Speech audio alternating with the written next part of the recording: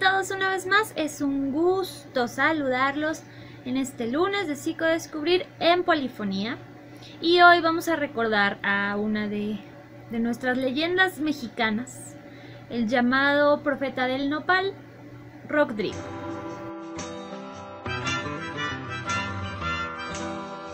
Rodrigo o Rodrigo Eduardo González Guzmán, que es su nombre completo, nació el 25 de diciembre de 1950 en Tampico, Tamaulipas.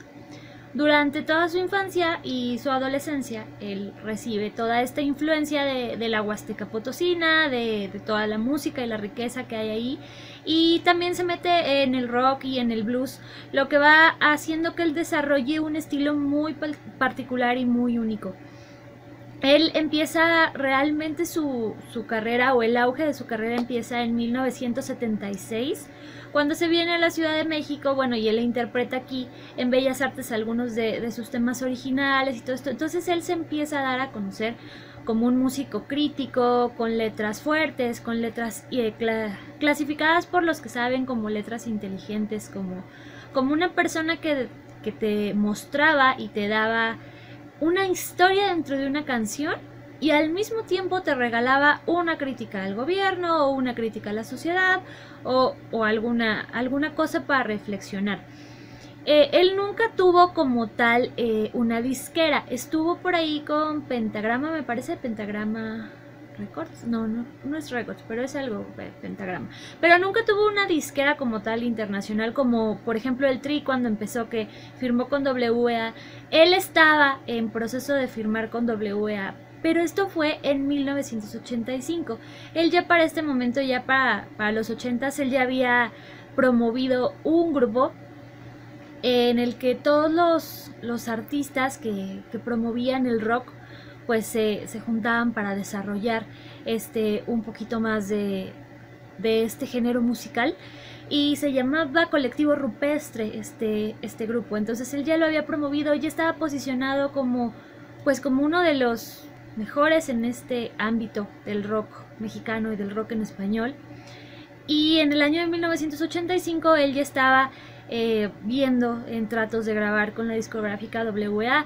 De hecho, hay algunas grabaciones inéditas que salen después de esta disquera porque él ya estaba comenzando con este proceso. Por desgracia llega el 19 de septiembre de 1985 y él y su pareja regresaron a su domicilio que estaba ubicado en la calle de Bruselas, en la colonia Juárez. Regresan de un concierto que dieron eh, que dio él, eh, me parece que fue un aniversario de la jornada, eh, pues era conmemorativo a, un aniversario de la jornada, me parece, regresan a, su domicilio y todo, y empieza eh, el terremoto del 19 de septiembre de 1985, y por desgracia él y su pareja fallecen dentro de, de su domicilio ubicado en la colonia Juárez. Y bueno, en estas fechas, pues nosotros también tuvimos otro, otro terremoto el 19 de septiembre.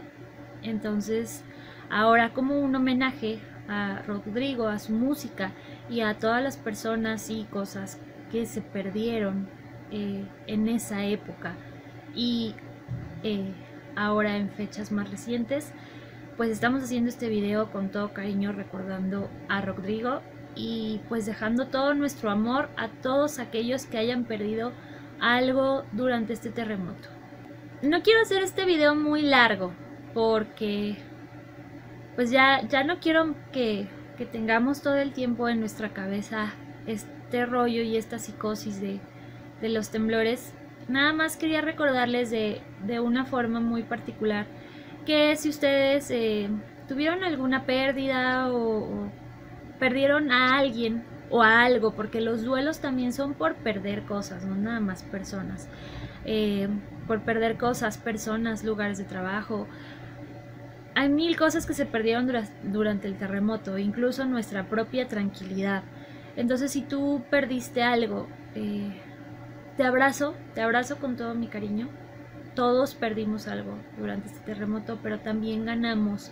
Ganamos en humanidad, ganamos en solidaridad, ganamos en cariño, ganamos en reconocernos como mexicanos, incluso ahora escuchar el himno nacional para muchos vuelve a ser algo representativo cuando yo siento que ya no lo era para muchas personas.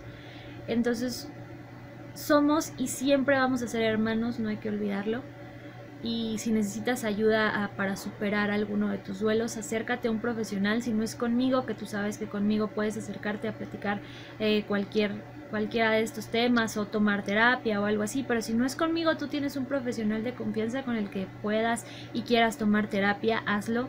Adelante, no lo eches en saco roto. Si, si sigues sintiendo estrés, si sigues teniendo insomnio, si sigues teniendo esta sensación de que todo se mueve, paranoia, falta de aire, que que de repente te den como ataques de ansiedad, eh, calor en, el cuerpo, que estés temblando, ya para este momento ya debió haber pasado todos esos síntomas, debemos tener a lo mejor un poquito de alerta, pero ya no miedo. Entonces, si tú lo sigues sintiendo, es importante que visites un profesional también porque puede ser trastorno por estrés postraumático que deriva en depresiones y demás cuestiones que, que, bueno, ya abordaremos en otra ocasión. Entonces, no lo eches en saco roto y si en algo puedo ayudarte, aquí estoy. Rodrigo es una de, de estas muestras de que la vida es muy frágil, como, como nos dimos cuenta en esta ocasión. La vida en un segundo puede terminar siendo famoso o no. Entonces, pues disfrútalo hoy, disfruta lo que tienes, ama a tu familia, abrázalos, bésalos, apapáchalos Dile a la persona que tienes al lado lo que sientes, sé sincero, ayuda si puedes ayudar y nunca olvides que si tú haces algo duradero, por ejemplo como lo hizo él, hacer lo que ama y, y dejarlo plasmado para todas las personas que vienen atrás, vas a dejar esa huellita en el corazón de los demás como lo hizo él con sus letras y canciones que todavía al día de hoy siguen siendo vigentes. Hay documentales acerca de Rodrigo, como hay uno que se llama Rodrigo a 10 años, me parece, que fue de Sergio, Sergio, Sergio, Sergio García. Y este puedes checarlo para conocer un poquito más de su vida. O Rodrigo, la ciudad del recuerdo de Alejandro Ramírez. También este, puedes checarlo para saber un poco más de él, de lo que vivió, las letras que escribió. Este, muchos, por ejemplo, piensan que eh, Metro Valderas es del, del Tri, de Alex Lora, y no, en realidad es de Rodrigo. Entonces, pues ve y checa esta información y dale un abrazo a quien tengas al lado porque nunca sabemos cuándo nos puede tocar a nosotros. Te mando un beso grandote. Cuídense mucho. Bye.